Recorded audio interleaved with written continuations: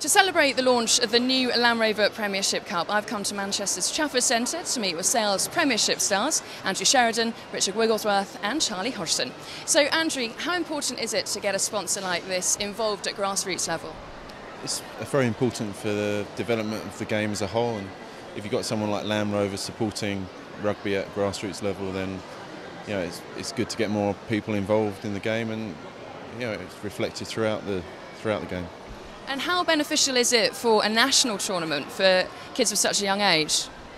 Um, it's, it's, it's, bound to be um, good for, for young kids if they, they've got national tournaments and that they can develop as, uh, as players. And you know, it's good that Land Rover are involved with that as well. So it's, it's all round pretty good. So, Richard, summer's over. How's your time off been? Uh, I didn't get long, just three weeks, but uh, enjoying the pre-season now. Got a new conditioner in who's brought in some new ideas, and uh, we're all ready to go. And what sort of things have you been doing pre-season wise? Uh, obviously, a lot of fitness, and that's tailing off now uh, and getting into the rugby. Uh, looking forward to the first game of the season. And you, Charlie, how's pre-season been for you? It's been good. It's been hard work. Um, as Wiggy said, there's been uh, a new conditioner in, in, in, the, within our ranks, and uh, he's pushed us quite hard this, this summer. But um, all the boys are looking forward to start the new season. And how do you think Sale will fare then this season?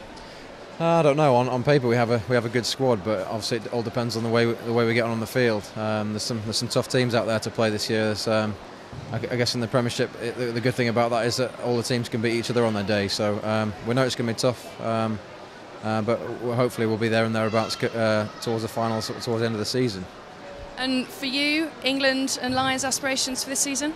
Um, I think first and foremost is, is purely to play well for Sale. Um, I was disappointed not to be involved in any of the England squads recently, so I, I guess it's a case of um, playing well for Sale and then hopefully getting back into the uh, into the England squad. Okay, guys. Well, thank you very much, and good luck for the next season.